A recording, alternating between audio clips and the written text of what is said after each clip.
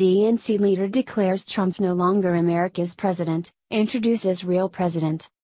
You have got to be kidding me. The left needs to give it a rest.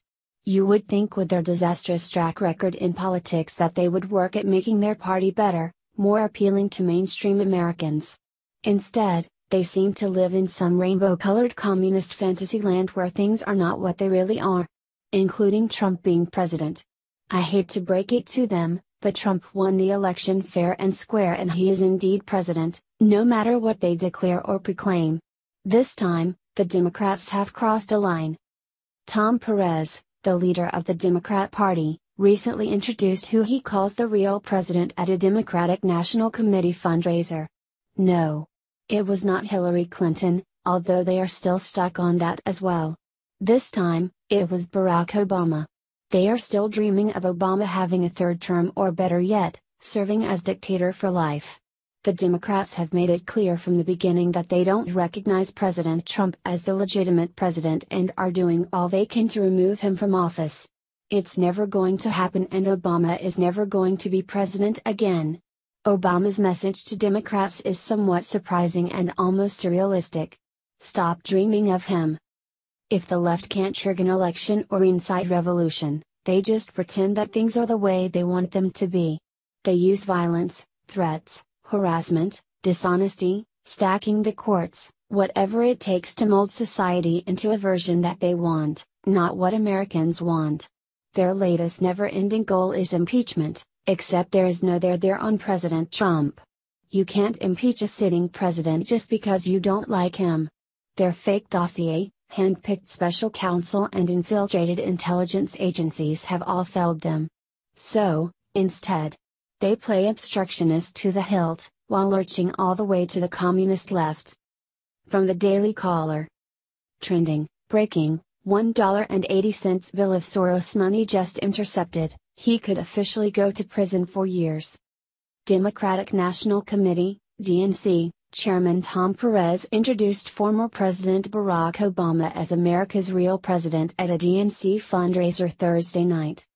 Let's give it up for the real President of the United States, Perez said at Thursday's fundraiser, Politico reported.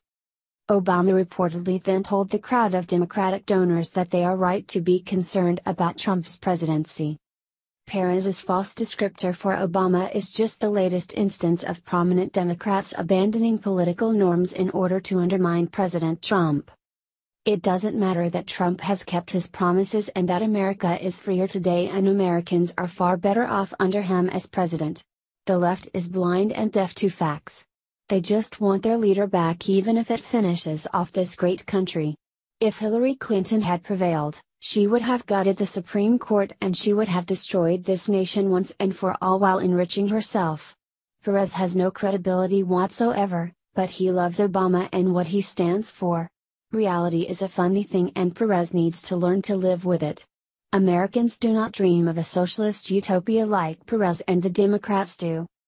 Obama is still out there and he's still trying to control and run this country through his minions he's still targeting President Trump in every way possible. He has slammed Trump more than a dozen times since leaving office and he has a grassroots army under multiple names that is attacking Trump. Ever wonder where all these protests come from and how they are coordinated?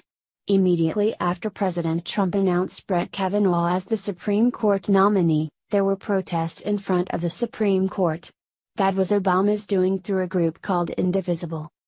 Indivisible, a practical guide for resisting the Trump agenda issues call scripts for each issue, including Obamacare, immigration, civil rights, education, the EPA and how to stop the confirmation of Brett Kavanaugh.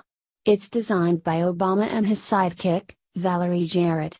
This operation is located in Washington, D.C., with chapters in major cities and is closely partnered with Act Blue. You will find all of this closely connected to George Soros as well. Do not wait for the perfect message, don't wait to feel a tingle in your spine because you're expecting politicians to be so inspiring and poetic and moving that somehow, okay, I'll get off my couch after all and go spend the 15 20 minutes it takes for me to vote, Obama said in his first public comments in months, which only a few reporters and no cameras were allowed in for. because that's part of what happened in the last election. I heard that too much. Boil it down, Obama said. If we don't vote, then this democracy doesn't work. Except it's not a democracy, it's a republic. Obama, being the masterful deceiver that he is, calls what is unrealistic actual reality. I am not surprised that instead of replacing what we had done with something better, they just have done their best to undermine and erode what's already in place, he said.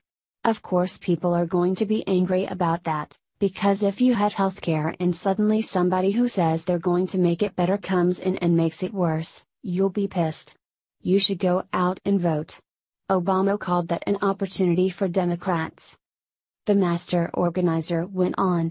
Reality has an interesting way of coming up and biting you, and the other side has been peddling a lot of stuff that is so patently untrue that you can get away with it for a while, but at a certain point, you confront reality, he said. The Democrats' job is not to exaggerate, the Democrats' job is not to simply mimic the tactics of the other side. All we have to do is work hard on behalf of that truth. And if we do, we'll get better outcomes. Spoken like a man who still sees himself as president just as Perez sees him that way. Obama is gone, deal with it. I think my lucky